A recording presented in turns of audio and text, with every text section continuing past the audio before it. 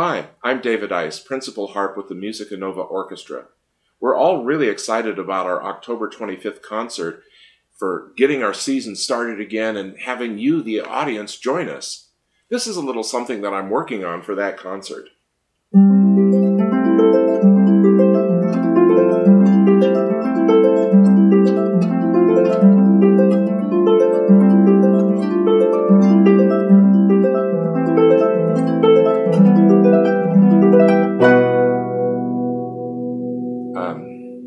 My pants still aren't back from the dry cleaners.